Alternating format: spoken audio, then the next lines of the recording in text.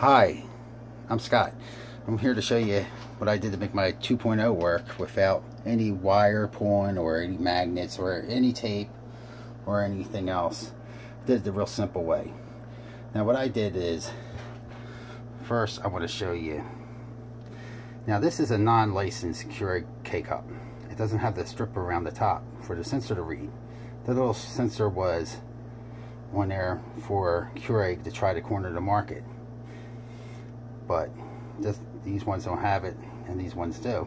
But if you want to use all the K-cups you're going to have to have something to make it work. But this is what I did. I took a licensed Keurig K-cup. I cut it in half just like this. Real simple. Cut it in half cleaned it out pretty good. And what I did is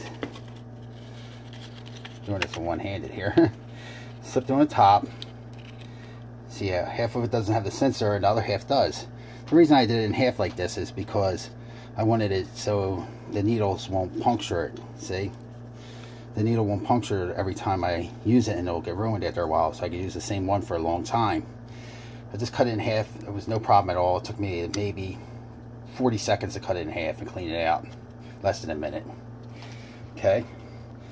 And I'm going to show you first the message you're going to get if you have a non-licensed Keurig K-cup in there.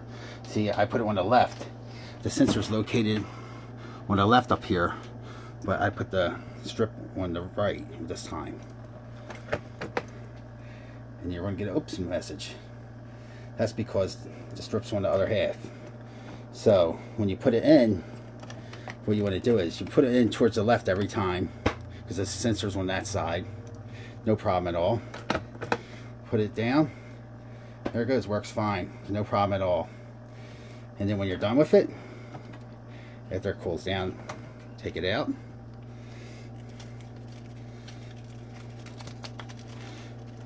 Uh, ground will be a little wet so it won't be as messy.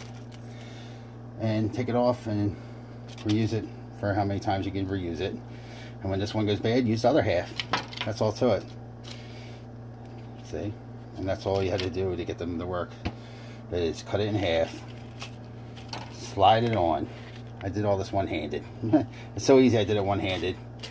Put it in towards the left shut it and have coffee. That's all to it. Thanks a lot bye